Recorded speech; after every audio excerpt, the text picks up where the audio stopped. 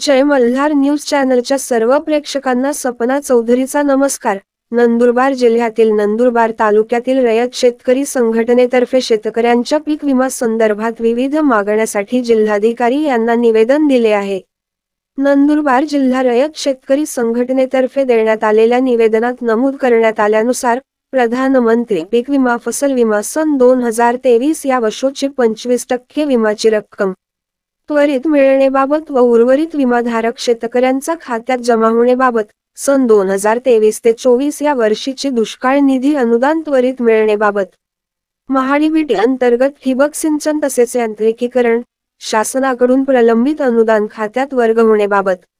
नियमित पीक कर्ज भरणाऱ्यांना सरकारतर्फे प्रोत्साहन अनुदान रुपये पन्नास हजार त्वरित मिळण्याबाबत पीक कर्ज किंवा टर्म लोन दुष्काळामुळे थकीत झाल्या असल्यामुळे बँक सेव्हिंग खातेवर होल्ड लावून शेतकऱ्यांची शासकीय तसेच विमा व अन्य पैसे सक्तीने वसूल करते.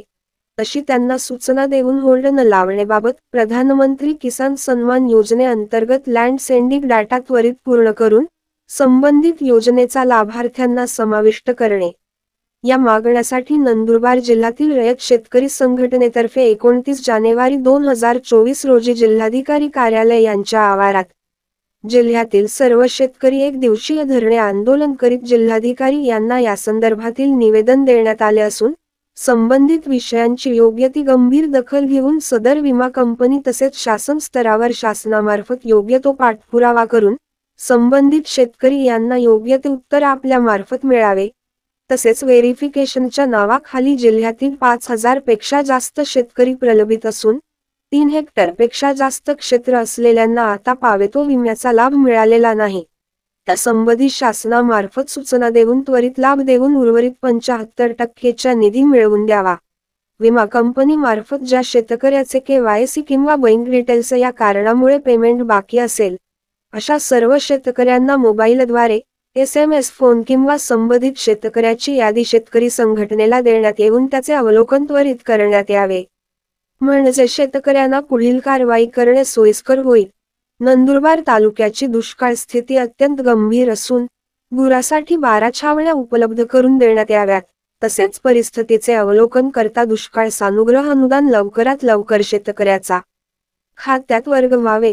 सदर प्रकरणांची शासनामार्फत योग्य ती दक्षता घेऊन शेतकऱ्यांना आश्वासित करावे असे निवेदनात नमूद करण्यात आले आहे.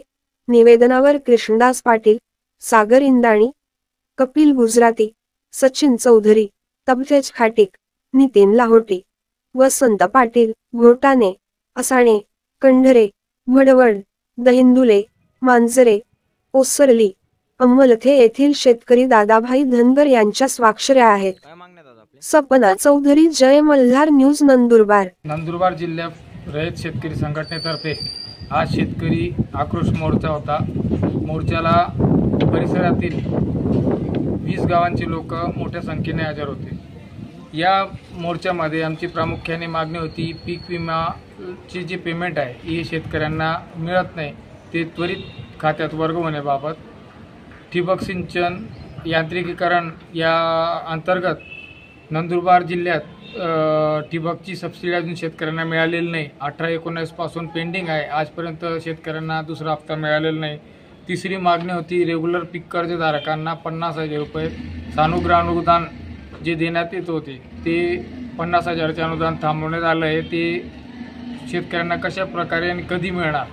चौथी मागणी आहे बँका पी एम किसान आणि टर्म लोन यांचे थकबाकी आहे.